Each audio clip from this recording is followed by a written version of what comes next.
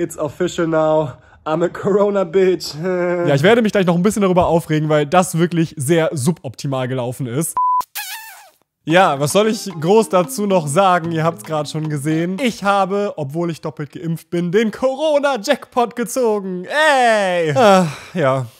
Ja, und jetzt äh, hocke ich in Quarantäne. Ich dachte, ich mache ein kurzes Update-Video dazu. Also ich hatte es ja schon auf Instagram erzählt, aber mich haben dann relativ viele Fragen erreicht und ja, da habe ich jetzt mal so die drei, vier am häufigst gestellten Fragen äh, aufgeschrieben und die arbeiten wir jetzt kurz ab. Ja, it is what it is, ne? Habe ich damit gerechnet? Nein. Habe ich jetzt doch Corona, obwohl ich seit Ende August doppelt geimpft bin? Ja. Hm. Zuerst mal die Frage, die mir immer am häufigsten gestellt wird. Wie geht's dir?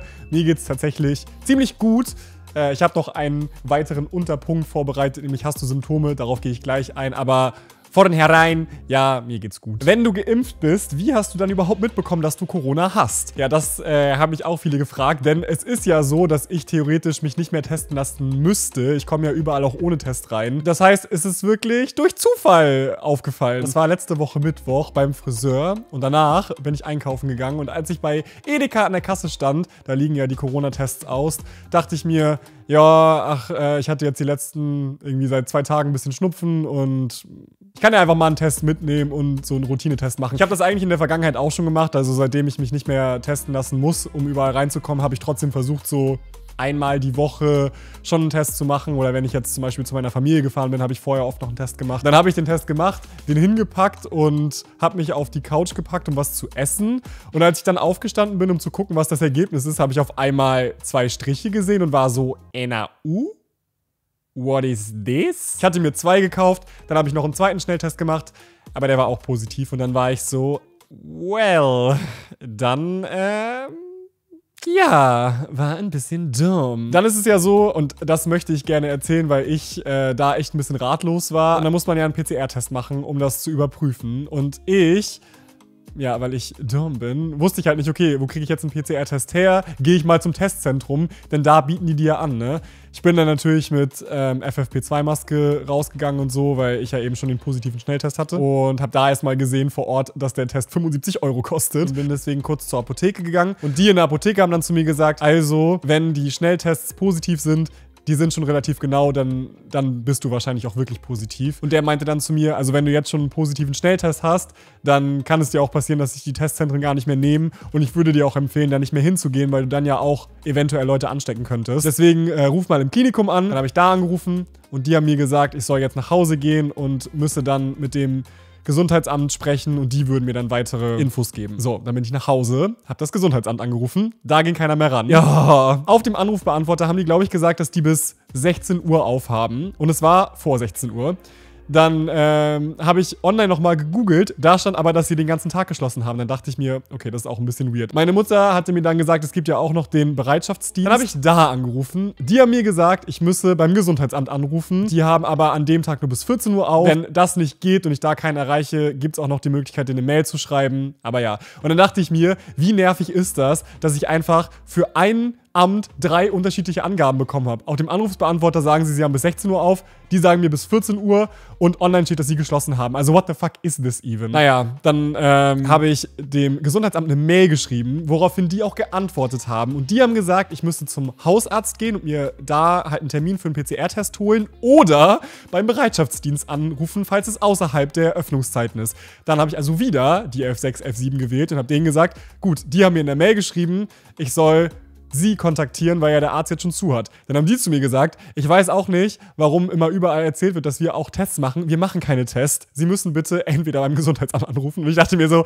was soll das eigentlich? Ich werde hier nur von einem Punkt zum nächsten geschickt. Richtig annoying. So, ich habe schon mit allen zehnmal telefoniert.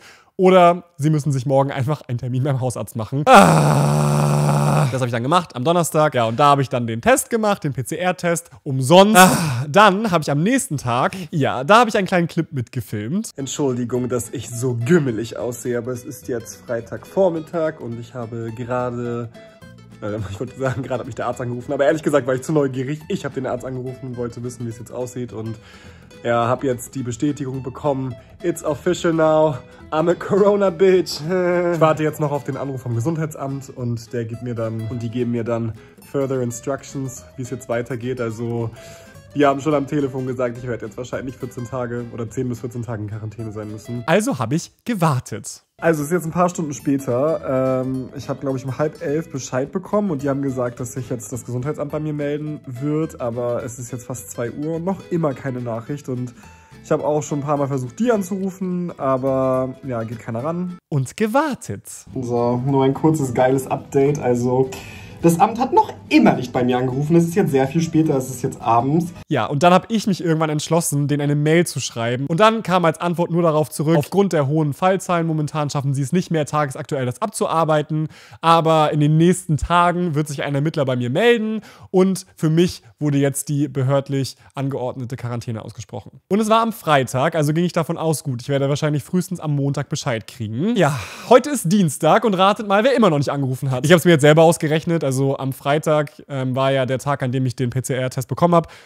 Also denke ich mal, dass ich jetzt einfach zwei Wochen bis zum 5.11. in Quarantäne bleiben muss. So, okay, das muss ich jetzt kurz zwischenschieben. Es ist Mittwoch und ich hatte gerade endlich den Anruf vom Gesundheitsamt. Jetzt fühle ich mich natürlich wieder ein bisschen schlecht, obwohl ich hinter dem stehe, was ich gesagt habe. Es war wirklich bisher ziemlich es ist suboptimal gelaufen, aber jetzt, wo ich mit denen telefoniert habe und natürlich auch gehört habe, wie stressig das für die ist, tut es mir ein bisschen leid.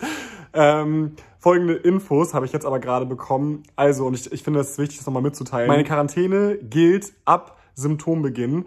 Ich habe ja am Mittwoch den Test gemacht und Dienstag war der Symptombeginn. Und dann ist es so, dass du ab Symptombeginn zwei Tage zurück noch, also ab Sonntag, ab da musst du gucken, welche Leute du gesehen hast. Und alle Leute, mit denen du länger als zehn Minuten dicht zusammen warst, die gelten als Kontaktpersonen. Und die müssten eigentlich auch in Quarantäne, es sei denn, sie sind doppelt geimpft. Wenn sie doppelt geimpft sind und symptomfrei, dann müssen die nicht in Quarantäne. Genau, und für mich ist es jetzt so, also die haben ab Symptombeginn dann 14 Tage gerechnet. Das heißt, das ist jetzt bis Dienstag und ich kann Montag, also, oder ich muss Montag jetzt nochmal einen PCR-Test machen. Der wird vom Amt angeordnet. Und wenn der der negativ ist, dann darf ich wieder raus. Was halt wirklich dumm ist, ist, dass all die Leute, die jetzt in Quarantäne gemusst hätten, jetzt wäre es eh halt hinfällig, weil die sich so spät gemeldet haben. Also die hätten halt seit Dienstag dann auch in Quarantäne gemusst für zehn Tage, aber das ist jetzt morgen eh vorbei. Und da die heute erst angerufen haben, haben die auch gesagt, ja, das lohnt sich jetzt nicht mehr.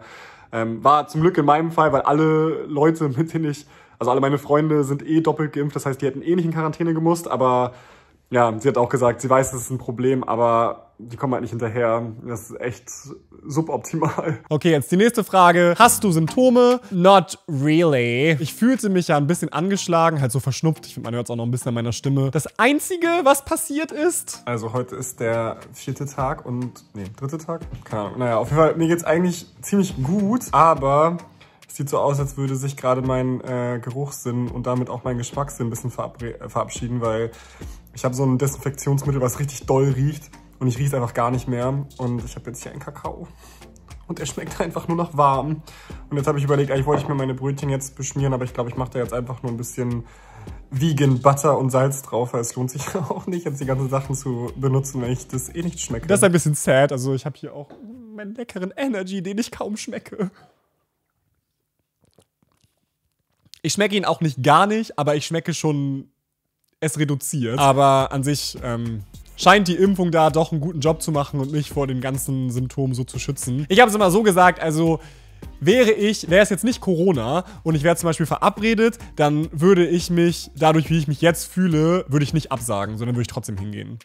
So gesund fühle ich mich. In dem äh, Atemzug will ich auch noch mal kurz was zur Impfung sagen. Viele waren irgendwie doch schockiert, von meinen Freunden, als sie gehört haben, dass ich jetzt Covid habe, weil alle waren so, boah, krass, du bist ja geimpft. Ja, aber natürlich gibt es Impfdurchbrüche, ne? So, das passiert. Ich habe dazu noch extra einen Screenshot vom RKI gespeichert. Das hatte ZDF gepostet. Und zwar, RKI bestätigt Effektivität von Corona-Impfungen und da steht auch drunter, ja, man kann trotzdem erkranken, aber es schützt einen sehr gut vor schweren Verläufen. Und da stehen auch nochmal Prozentzahlen drin. Zum Beispiel Schutz vor Tod ist, wenn du unter 60 bist, bei 100 Prozent und wenn du über 60 bist, bei 91 Prozent. Schutz vor Hospitalisierung bis 60, 95 Prozent und über 60, 94 Prozent. Und Schutz vor Intensivstationen bis 60, 97 Prozent und ab 60, 95 Prozent. Also ja, es lohnt sich einfach, sich zu impfen. Und das ist auch mein Appell, den ich mit diesem Video noch raushauen möchte, wenn ihr die Möglichkeit habt und ihr geeignet seid, euch impfen zu lassen, lasst euch bitte impfen. Ich gehe auch fest davon aus, dass ich diesen milden Verlauf und dass es mir so gut geht, auch der Impfung zu verdanken habe, weil